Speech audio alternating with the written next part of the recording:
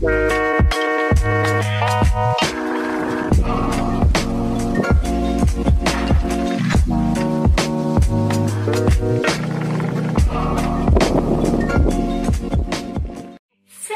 dragilor, bine ați revenit pe canalul meu și bine ați revenit la un clip cu favorite. Nu știu când am mai postat eu un clip atât de târziu cu favorite, pentru că deja pe 7 este foarte târziu pentru mine, eu fiind pe 30, 31 sau 1, fiind prezentă totdeauna cu favoritele, dar știu că este un clip pe care îl iubiți, de altfel și mie îmi place foarte mult. După cum vedeți avem o schimbare mică așa de decor, ca să fim în temă cu luna octombrie și cu toamna, în care eu am intrat după cum ați văzut din intro din septembrie și îl menținem pentru că voi ați votat pe Instagram să menținem uh, acel intro, așa că îl menținem.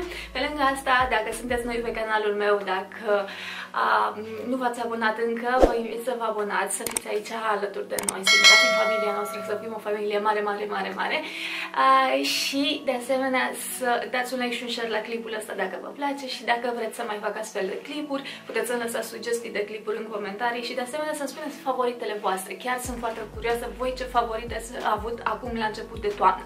Bun, am așa, am puține, dar sunt din categorii diverse. Am uh, și cărți, mă rog, o carte, am și un parfum, am și ceva haine, am și machiaj, am de toate. Nici nu știu cu ce să încep. Hai să începem cu produsele de make-up, care sunt de fapt două produse de buze și uh, unul este un produs relativ nou uh, și pentru mine și pentru uh, lumea asta a make-up-ului pentru că este noua lansare de rujuri de la Bourjois. Uh, am uitat cum îi zice, vă scriu pe ecran. Așa, eu am nuanța 09, care este un zmeuriu așa foarte închis. Este și culoarea pe care eu o port pe buze în momentul de față. Uh, și îmi place foarte tare nuanța asta. Mie mi se pare că nuanțele astea sunt mai degrabă de toamnă decât de primăvară. Nu știu de ce, eu am senzația că nuanțele astea de zmeuriu, de roz închis, așa burgundiu, dacă vreți, astea sunt nuanțe care se poartă mai degrabă toamna și sunt mai degrabă de tranziție. Știu că multe persoane le asociază, în special rozul, le asociază cu primăvara și cu vara. Eu asociez genul ăsta de nuanță cu um, cu toamna. Sper din tot sufletul că nu l-am pe dinți acum, pentru că este un ruj din acela de tip clasic cu baton. Este foarte, foarte confortabil și în ciuda faptului că este un ruj clasic, este foarte rezistent. Îmi place foarte tare că rezistă destul de bine. Nu este rezistent la transfer, dar rămâne pigmentul mult timp pe buze și chiar dacă bei sau mănânci, îți rămâne pigmentul pe buze și cumva îți pătează buzele, dar nu, nu în sensul de a nu se mai lua de tot pigmentul, nu știu cum să vă explic, dar e un pătat bun al buzelor, așa. Um, se transferă fiind un, uh, un ruj clasic se transferă normal, dar îmi place foarte, foarte tare și uh, mi se pare foarte drăguț. Uh, pe ăsta l-am luat din o șansă, nu mai știu, și l-am purtat chiar mult luna asta, mult surprinzător. Eu purtăm mai mult uh, rujuri din astea pentru clipuri, dar chiar și așa am uh, abuzat de el luna asta și mi-a plăcut foarte mult. Un alt uh, uh, produs care mi-a plăcut, a, apropo, am oglindă aici, pot să verific dacă am ruși pe dinți, un alt produs pe care l-am folosit și la care m-am întors. Mai degrabă la trendul ăsta m-am întors decât la produsul ăsta, dar și la produsul ăsta m-am întors. A, dacă nu înțelegeți nimic, stați liniștiți că nu e vina voastră. Ideea este că în ultima vreme, dacă ați observat, dacă ați fost atente la lumea asta make-up-ului, se întoarce trendul ăla cu buze glossy, cu buze uh, mai hidratate, mai strălucitoare, adică trendul cu uh, ruj mat, cu ruj din acela cu lipstain-uri foarte mate, foarte încărcate așa, se cam duce ușor pe ducă. Uh, și asta pentru că mă gândesc eu că oamenii s-au cam săturat de buze uscate. Și în special pentru perioada asta de toamnă-iarnă, o să vedeți că atâta cât se poate purta ruj, pentru că dă, încă ne depindem de mască, atâta cât se poate purta ruj, vor predomina uh, rujurile uh, mai lucioase, nu neapărat foarte glossy, dar mai lucioase, hints și lansările de genul ăsta, de rujuri de genul ăsta clasice, care cumva revin în actualitate.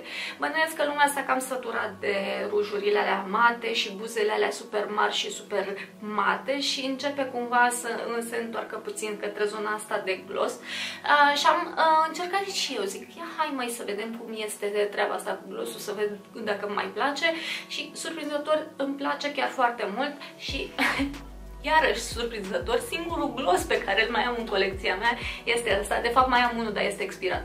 Așa, e ca și cum n-ar exista.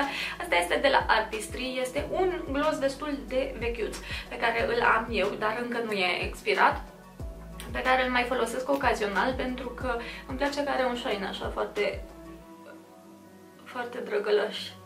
Și după cum vedeți, are și beculeț aici, ca să te ajute să-l aplici. Are și oglindă pe partea asta. Mm, îmi place că îți dă efectul ăla de volum, fără să pară overduet. Iar glossul ăsta este decent, adică mm, n-aș fi printre preferatele mele în materie de glossuri, dar este decent. Nu este excesiv de lipicios, nu este excesiv de greoi, se simte destul de bine pe buze.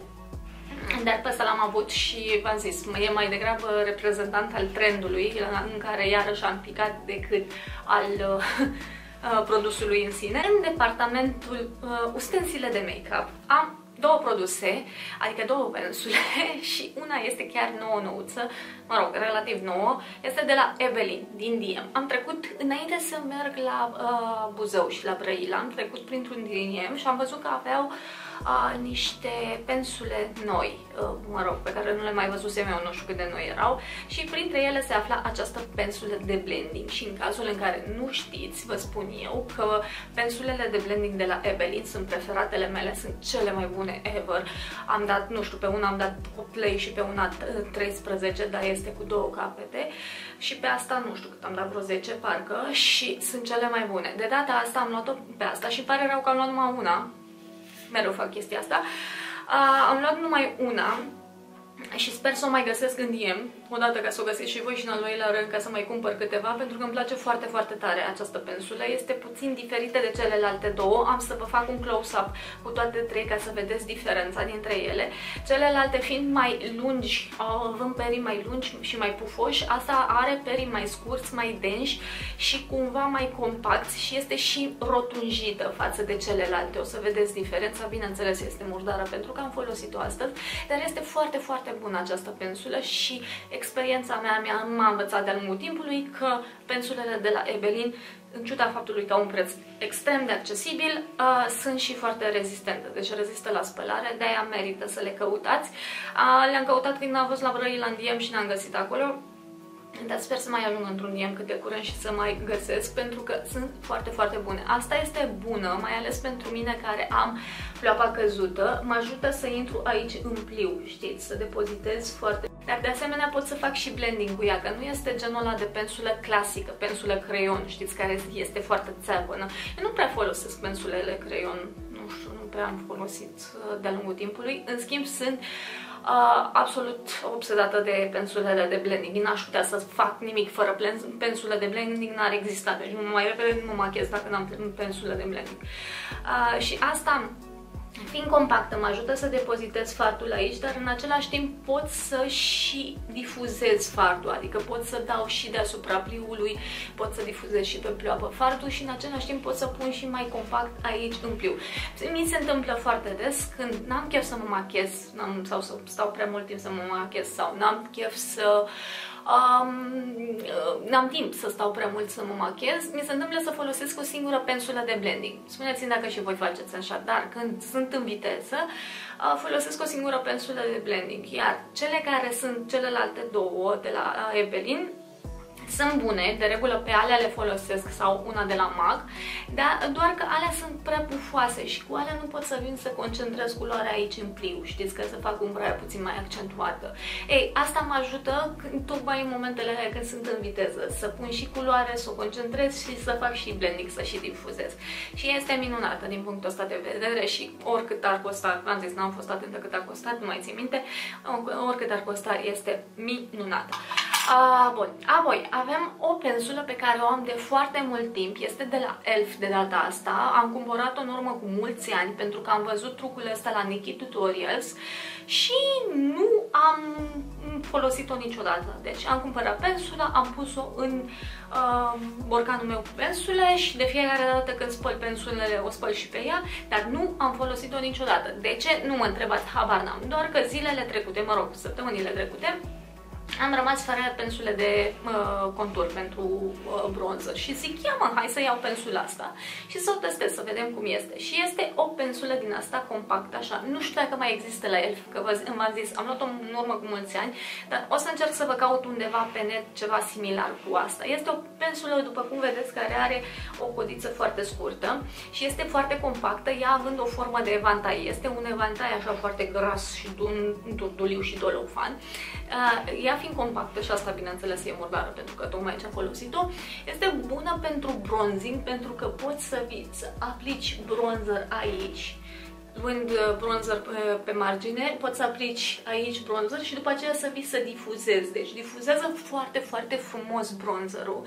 Și chiar, uh, bine ați zis și voi în ultimele clipuri, mi-ați zis că Vă place cum arată fața mea și că este cumva uniformă și că, uh, nu știu, uh, arată bine conturată, deși nu fac conturing, ci doar dau cu bronzer și uh, întinde foarte, foarte bine bronzerul. Deci nu știu de ce naiba n-am folosit-o, pentru că Nikki Tutorial sunt numai de aia o folosea genul ăsta de pensul, nu de la Elf avea, ea cred că avea de la Sigma sau ceva de genul ăsta, chiar o să mă uit să vedem dacă poate găsesc la Sigma una similară.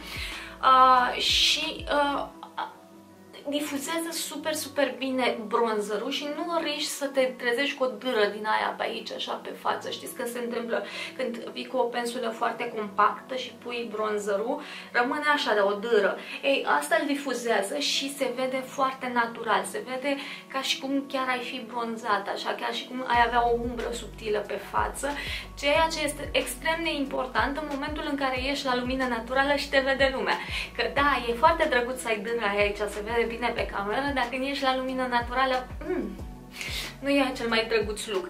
Așa că e bine să difuzezi foarte bine bronzer. Deci, mare atenție la bronzing. De asemenea, este foarte bun aici eu fac conturing și aici, mă rog, conturing bronzing aici, în zona asta a, a maxilarului și a, vine și difuzează foarte, foarte, foarte bine zona asta și aici la fel în, în, la linia părului, unde tot timpul se întâmplă să rămână câte o zonă din aia neblenduită între firele de păr și frunte și la fel difuzează super, super bine, deci nu știu ce a fost în capul meu, dar n-am folosit-o până acum, dar este foarte, foarte bună. Dacă vreți un truc bun, căutați pensula asta. Oricum v-am zis că încerc să vă las eu în descriere. Așa, bun. Apoi, am, când am fost la Brăila, apropo de Brăila, am primit de la Sabina o, o nu știu, e mostră, este... Uh, nu știu, e variantă mini de cleanser de la Cetaphil cred că Cetaphil se pronunță, nu? Oily Skin Cleanser. Este un cleanser pentru față care curăță foarte, foarte bine tenul și în ciuda faptului că este destinat tenului gras, eu având ten uscat, că deja vă omor de atâta timp, se comportă foarte bine pe pielea mea, curăță foarte bine fără să o simt uscată după ce curăț tenul se, se simte foarte bine. Pielea mea, foarte relaxată și curăță foarte bine și mi-a plăcut foarte tare, atât de mult încât sunt aproape convinsă că am să-l recompăr după ce uh, Uh, se termină asta. De asemenea, la Eugenia am uh, folosit varianta pentru ten uscat, uh, care mi-a plăcut la fel foarte mult și știți, dacă aveți ten uscat, că este destul de tricky să găsești niște cleansere care să curețe și să nu-ți lase tenul îmbâxit, să nu simți așa că ai o peliculă grasă, grea pe față după ce te-ai spălat, cu cleansere din ale pentru ten uscat. Așa că ăla de la Cetaphil pentru, pentru ten uscat este foarte, foarte bun și chiar vi-l recomand dacă aveți ten uscat. A, și pe mine mă bate gândul să le cumpăr pe amândouă. Pe ăla pentru dimineață, iar pe ăsta pentru seară. Bun. Apoi, hai să trecem la parfum. Uh, pentru că s-a mai răcit treaba pe aici și este mai respirabil așa de parfumuri mai dulci, am revenit la dragostea vieții mele, după uh, Givenchy Play, care a fost scos de pe piață, deci de ăla nu mai vorbim, ăla este mort și îngropat, gata, salutare. După Jivan și Play, uh, dragostea vieții mele și în momentul dragostea vieții mele, numărul 1 în materie de parfumuri este, cine mă cunoaște știe, și anume Burberry Brit. Și ador parfumul ăsta, îl iubesc atât de mult. Încerc să-l port și vara, dar când e mai rece, așa, când nu sunt temperaturile foarte înalte, pentru că este destul de dulce și cumva floral și mă rog, cine știe Burberry Britul îl știe, adică e un, un parfum clasic deja și îmi place la nebunie. Stați că nici nu m-am dat cu parfum astăzi, numai bine. Ah, miroase absolut senzațional. Deci este un parfum care emană atâta eleganță, dar atâta simplitate în același timp. Mie de asta îmi place parfumul ăsta, că este cumva sofisticat, dar în același timp simplu. N-aș putea să vă spun exact ce are în el. Nu pot să-mi dau seama dacă are vanilie, dacă are scorțișoară, dacă are flori, dacă are... Nu-mi dau seama. Deci cu Burberry Britul niciodată nu-mi dau seama și nu mă puneți să citesc, că niciodată nu țin minte notele când le citesc. Dar ă, asta îmi place și v-am zis că parfumurile de la Burberry se comportă foarte, foarte bine pe pielea mea. Sunt uh, parfumurile, printre parfumurile care rezistă cel mai mult. Ăsta rezistă toată ziua pe pielea mea. Uh, eu am problema asta cu parfumurile, să nu reziste pe pielea mea sau să se transforme. Mamă, se transformă, unele se fac într-un hal, deci mai ales alea care au o tentară pească așa, ai de capul meu, se transformă într-un fel de nu nu vreți să știți. Uh, și asta, ăsta nu se transformă, la fel și mai Burberry, dar ăla, ăla mi se pare și mai dulce decât ăsta și pe ăla îl țin pentru iarnă, când chiar vine iarnă. Mai Burberry-ul iarăși îmi place foarte, foarte mult uh, și v-am mai zis eu că uh, trebuie să-mi iau și bitul, că și ăla, și ăla îmi place la nebunie, dar da, uh, am revenit, dacă s-a răcit puțin vremea, am revenit la Burberry Brie pentru că este divin. Pentru că sunt foarte, foarte fericită că am luat ceva care este total atipic pentru mine. Dacă mă știți de ceva timp, știți că eu nu-mi iau tricouri sau uh, bluze cu mesaje, după cum se vede, în general evit mesajele pe tricouri sau uh, printurile sau chestiile de genul ăsta, mi se pare că un look din ăsta mai clasic este mai drăguț, cel puțin în opinia mea, mai ales în condițiile în care în ziua de azi toată lumea nu știu, parcă a nebunit să aibă un mesaj sau un print sau ceva, o poză sau ceva pe tricouri sau pe bluze, mi se pare că atunci când nu ai nimic ești mai tare în evidență, părerea mea.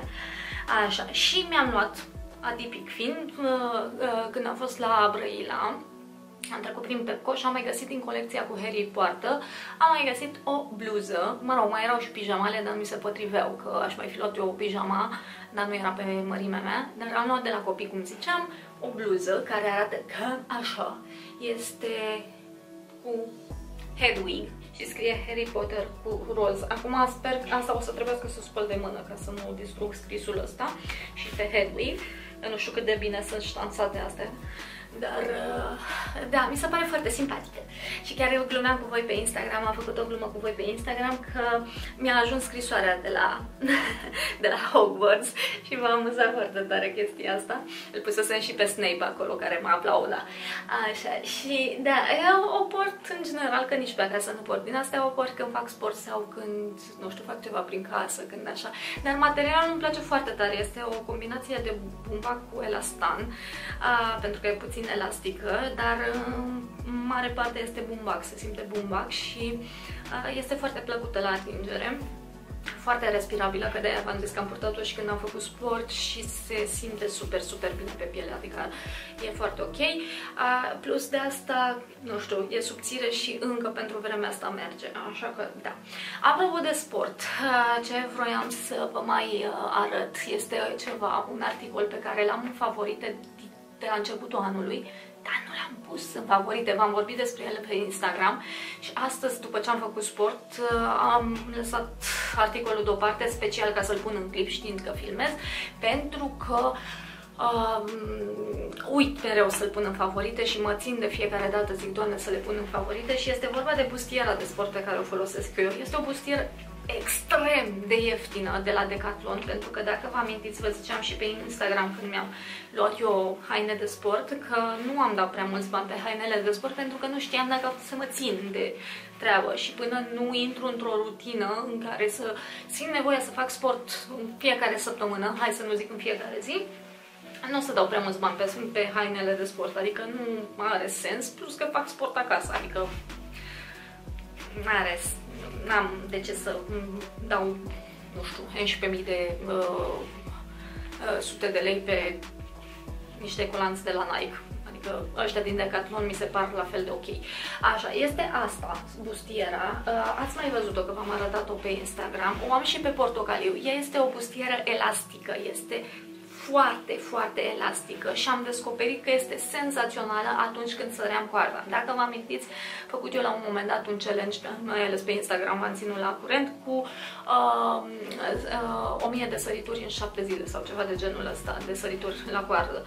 Și atunci am observat cât este de bună pentru că îmi oferă suport aici, îmi presează cumva sânii, nu e tocmai confortabilă pentru că am luat-o puțin mai mică decât îmi recomanda site-ul uh, și îmi presează cumva sânii, dar îi ține atât de bine acolo încât pot să sar coada toată ziua sau pot să alerg, pot să fac orice. Este foarte, foarte, foarte bună în sensul ăsta. Deci dacă aveți nevoie de ceva care să vă ofere un suport mai sănătos, mie site-ul îmi sugera pentru mărimea mea de la sutien să iau mărimea L, dar am luat mărimea M pentru că mi se părea L prea mare. Nu știu, eu când aud L mi se pare oh, așa, fiind S, XS cam peste tot în afară de sutien. Uh, mi se părea așa, uh, uh, L. Și am luat M-ul și v-am zis, mă strânge puțin. Nu e extrem de incomodă, da? Nu sunt în punctul ăla în care nu pot să respir în ea, simt că mă omoară, dar nu e nici cea mai comodă, adică dacă aș fi luat L, cu siguranță nu o simțeam atât de fixă pe mine. Asta vă spun ca referință în cazul în care vreți să vă luați și voi, ca să știți, dacă sunteți cumva între măsuri la cupe, uh, luați-vă o măsură mai mică la, la bustieră, că atunci stă mai fixă și ține mai bine și vă oferă mai bine suport. Uh, V-am zis, e din Decathlon, eu am comandat-o online, dar am, când am fost la Brăila, am trecut prin Decathlon și am văzut că este și în magazin, cred că are același preț, are, dar vă las link în, în descriere în orice caz. Am luat-o și pe portocaliu, vreau să-mi iau și pe alb ca să o am cred că 20 de lei am dat pe ea sau ceva în genul ăsta și credeți-mă că merită toți banii, deci merită toți banii. Eu nefiind cunoscătoare între ale echipamentelor de sport, dar asta este foarte bună și nu por nimic sub ea, adică nu mai pun sutien sub ea sau peste ea, că am mai auzit și varianta asta, nu. Deci nu mai pun absolut nimic și stau cu asta fără nicio problemă. Între toate cărțile proaste pe care le-am citit luna asta și au fost câteva, o să vedeți când vine clipul cu cărți, că am încheiat și maratonul de lectură, am citit și o carte bună și de fapt este practic jumătate din cartea asta pentru că această carte conține două romane. Această carte conține Fiul vânătorului de urși și Fantoma din La Noi Estacado, pentru că nu le găseam eu pe, pe Goodreads și după aia mi-am dat seama, zic, stai că două romane într-o carte. Așa, am citit Fiul Vânătorului de Urși de Karl May. Uh, și mai există pe piață cartea asta și o să vă las în descriere. Și dacă vă plac cărțile de aventură, cărțile mai relaxate, nu atât de thrillere, nu atât de închistate, nu atât de așa, dacă vreți și alt gen de carte față de ce ați citit până acum, pentru că îmi dau seama că nu este un gen literar super popular în perioada asta, ăsta de aventură cu indieni, cu apași, cu uh, și așa mai departe. Um, Vă recomand cartea asta, o să vă las în descriere cartea că este foarte frumoasă. Eu trebuie să-mi cumpăr varianta modernă, varianta nouă, pentru că după cum vedeți, paginile s-au îngălbenit și mi-este foarte greu să citesc, mai ales dacă citesc seara, mă obosește foarte tare culoarea asta de galben. V-ați zis că în general culorile astea calde mă, mă obosesc uh, mult prea tare și trebuie să iau ca să uh, citesc și Fantoma din Hanoi Estacado. Asta este o carte pe care eu am citit-o pe la 14-15 ani, nici nu mai știu când am citit-o, dar uh, mi-a plăcut foarte mult și acum am recitit-o făcând clipul ăla cu 10 cărți preferate. Aveam uh, pe masă aici, aveam uh, uh, cărțile și zic, ia să mă reapuc eu de cartea asta, să o mai citesc încă o dată și este, mi-a plăcut la fel de mult ca atunci când aveam 14 ani. Mi-era frică că mi se va apărea cumva plictisitor stilul, acum că mă va plictisi uh, stilul în care descrie autorul uh, peisajele, în mod special, pentru că are și niște descrieri destul de lungi cu privire la peisaje, dar nu m-au plictisit din fericire și este foarte, foarte simpatică. Cartea este foarte plăcută, chiar vă recomand să citiți. Dacă vreți altceva, adică dacă n-ați intrat în zona asta de aventură așa și vreți să mai schimbați cumva stilurile ca să vă dați un refresh, a, puteți să încercați cartea asta, plus că mi s-a părut o carte foarte ușor de citit și uh, personajele mi-au plăcut la nebunie, la fel de mult ca atunci când eram adolescentă. E, sunt spumoase, sunt simpatice, sunt multe momente comice presărate prin uh, carte. Uh, de asemenea, sunt și chestii de cultură generală. Uite, spre exemplu, nu reținusem când am mai citit cartea asta că uh, numele statului Dakota, știți, din America, se trage de la uh, Marea Uniune a uh, tuturor triburilor de siouși. Știți că în America existau amerindienii care erau împărțiți în mai multe triburi în funcție de neamuri și așa mai departe. Așa. Și triburile astea de siouși care erau aparte se, uh, aveau o uniune a lor care se numea Dakota. Ei, și de acolo se trage numele statului Dakota. Apoi, mai am o chestie relativ ciudățică și anume nu știu dacă înțelegeți. Sunt niște, uh, cum le zic americanii, cred că fairy lights sau twinkle lights, nu știu cum le zic, ceva de genul ăsta le zic americanii. Uh, sunt practic niște leduri pe o sârmă pe care le-ați mai văzut la mine, că le-am le -am, le -am pus în spatele oglinzii, le aveam într-un timp în spatele televizorului, uh, vreau să le pun și aici în spatele tablourilor și le-am și acum împrăștiate prin toată casa și odată cu venirea toamnei le-am schimbat bateriile și le-am reaprins. Și vreau să uh, dau un mood foarte cald, mai ales seara, dau un mood așa foarte romantic și foarte cald, nu știu cât înțelegeți din ele acum, mai ales că asta este încălcit dar dau un mood foarte cald și foarte romantic și foarte plăcut, așa mai ales pentru seară și cumva încălzesc atmosfera. V-am zis că eu sunt cumva antic în lumină caldă, dar astea cu lumina asta caldă slabă așa pe care o dau, a, nu știu, fac o atmosferă foarte plăcută și mai ales seara când stau aici în birou și editez sau fac ceva, îmi place să am lumina asta pe lângă mine și acum cu noile schimbări pe care le-am făcut, am mai presărat pe aici, pe acolo uh, astea, luminițele astea și sunt foarte simpatice. O să vă inserez câteva cadre ca să vedeți cum arată seara pentru Neric și mi se pare că sunt foarte plăcute. Nu știu, uh, cumva îndulcesc ideea că vine toamna pentru că nu iubesc deloc frigul, deci mi este chiar groază de frig și încerc să-mi distrag atenția de la frig și de la ideea de frig făcând alte lucruri care să mă facă să mă simt bine, care să mă bine dispun. Astea s-au încurcat în ultimul hal aici, but who cares? Noi să fim sănătoși. Și da, cam asta a fost cu clipul meu cu favorite pe luna aceasta. V-am zis, dați un like și un share la clip dacă v-a plăcut. Nu uitați să vă abonați, să vedeți și pe Instagram, că vorbesc în fiecare zi acolo cu voi când merge Instagramul. Așa. De asemenea, să îmi spuneți și voi în comentarii care au fost favoritele voastre de luna aceasta, în care au fost, nu știu, favoritele din toamna, de la începutul ăsta de toamnă, că uh, ne putem inspira unii de la alții. Vă pup și ne vedem în următorul clip. Ciao!